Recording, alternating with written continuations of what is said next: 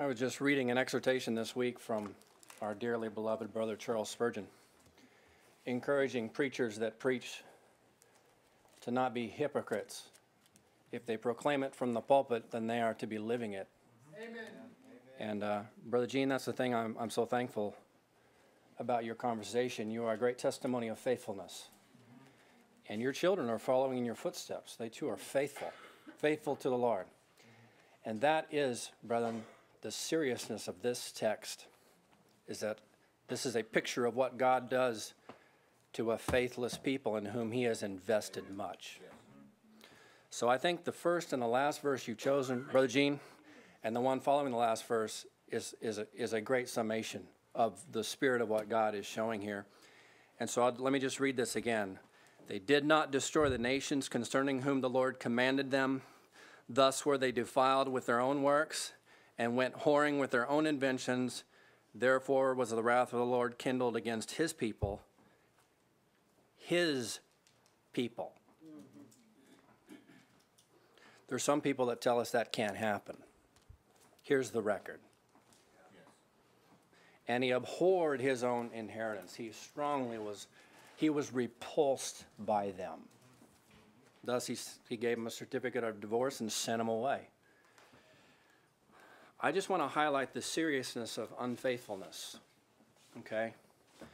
And let me, let me begin by saying this that the church is to be a prepared bride for Christ Jesus. Remember when Paul talked to the Corinthians, this was his great concern for this church is that they should be corrupted from the simplicity, simple devotion, only devoted to Christ unto other things. His great desire, one of the great desires the Apostle Paul had among the churches, that he might present them as a chaste virgin to Christ. And whenever he saw their affections being turned aside to other things, that was ultimately very serious to the Apostle Paul. And it is a very serious thing, brethren. It's a very serious thing. So I want to highlight the seriousness of that this morning. Let us also remember this that the scriptures in other places have given a record of God's indignation of his people, times where he has, he has abhorred them. And uh, we have uh, the record in the scripture. He tells us these things are written, these are examples. They're written for our admonition upon whom the ends of the age has come.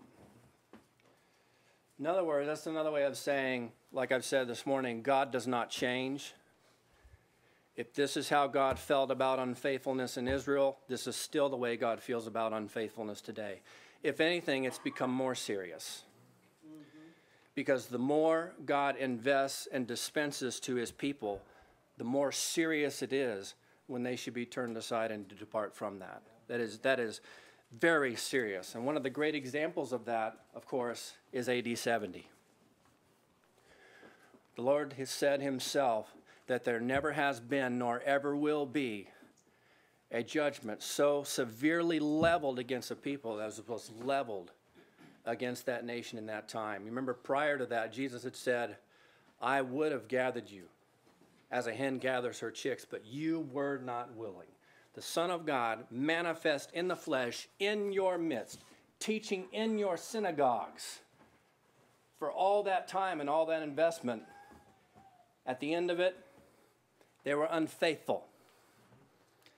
AD 70 is what happens when you're unfaithful. Judgment falls.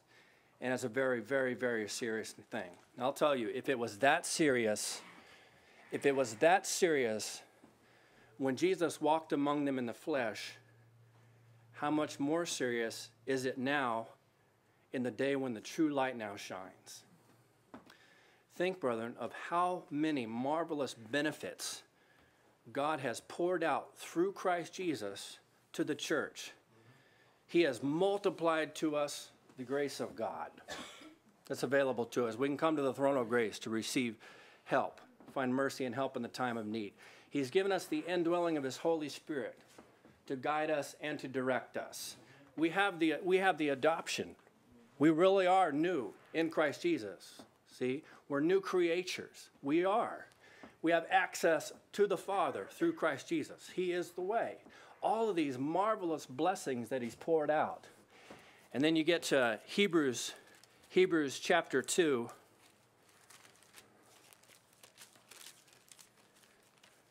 And verse 1 to 3, and he speaks to all of us who are living in this marvelous age of richness before God. He says, We ought to give the more earnest heed to the things which we have heard, lest at any time we should let them slip, which means they can. They can slip from you. They can slip from you. For if the word spoken by angels was steadfast, in every transgression and disobedience received a just recompense of reward, how shall we escape if we neglect so great salvation? So I, I just want to highlight the seriousness of this because we happen to be living in a time where unfaithfulness is one of the chief marks of Babylon. We talk so much about Babylon. She is a harlot. That's what she is. And a harlot's job is to turn a faithful spouse away from the spouse that they have espoused themselves to. That's the job of a harlot. Many, many and I want to be very prudent here but many marriages have been broken up by harlots. See? And that's exactly what Babylon is. So I think I think the best way I can exhort you, and I'll be very general about this, I would wish I would wish to be more specific, but I know that you have an anointing. I know that and you know all things. And you need not that any man teach you. These, the, the Lord will, will, will make these things very specific to your own hearts. You will know how to battle with this exhortation. But I think this is an appropriate exhortation for today. Put ye on the Lord Jesus Christ and make not provision for the flesh to fulfill its lusts. Amen. So let me just take that backwards. Don't make a provision for the flesh. If God says destroy the nations and distance yourself from the world, you have to do that. Amen. That is said with your beneficence in mind. There is no way, brethren, that you can maintain some kind of an equal yoke with the world without becoming like the world. Right. And so let's begin right at home. Think of yourself as, as like, think of part of you as like the nations. There's a part of you that are rebels and want to turn you aside. We call it the flesh. All of you have it. You have an enemy right here at home. So here's an encouragement destroy it. and every time it raises its ugly head, destroy it. The best way to weaken the flesh is not to feed it, right? Amen. The best way to strengthen it is to give it bread and to give it drink. So, brother, when the flesh cries out, just don't feed it. Be merciless with your own flesh. Be merciless with it. Never, ever feed it because that is always a precursor to a fall. So make not provision for the flesh. But I'll tell you the greater thing, and this is associated with what Sister June was saying this morning. When she said the will is not an entity of itself, but it's actually compelled along by a nature, that was marvelous. Because this is something the Lord's been showing me. I have been strongly desiring to be an excellent minister to the Lord Himself. And I happen to know that doesn't just happen. And it requires that your desire toward the Lord be greatly increased because you minister according to your desire. Everybody, whatever you do, everybody does according to their desire. Wherever your treasure is, there will your heart be also. Every man lives this way. Whatever you want the most is what you're going to spend your time for. And so here's something that I've been asking the Lord. I know that my ability to serve you faithfully will be consistent with my vision of you. If I see a little God, I'm going to serve him a little. But our God isn't little, He's got great beauty. It was so great, even in the it, what you might call a twilight era of revelation compared to what we have, that David said, This one thing I want. I've seen beauty, and I want to see more. And his faithfulness to God corresponded to his understanding of God. Amen.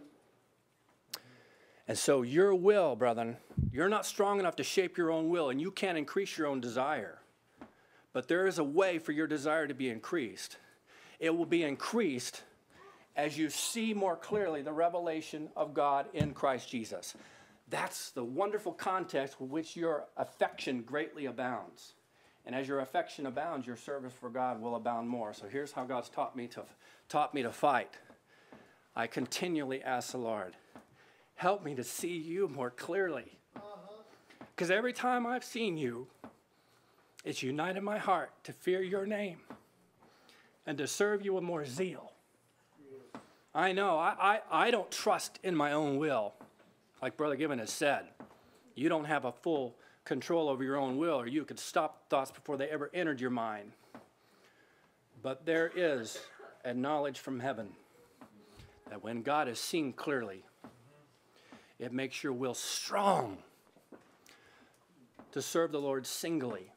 And, and in the process of that, you see the utter absurdity of flesh. It seems only reasonable to destroy the nations. It seems only reasonable to not live close to the nations so that your affections can be turn, turned aside. It's only reasonable to live close to the Lord. So, so I just pray that these things will come across clearly because this has been so so wonderful to kind of see this. I mean, that, that, brethren, that this really works. I got no other way of really saying this. This works. And so, brother, let me encourage you with this, and uh, put you on the Lord Jesus Christ. Don't make provisions for the flesh. I open it up for your for your comments this morning, brother Jeremy.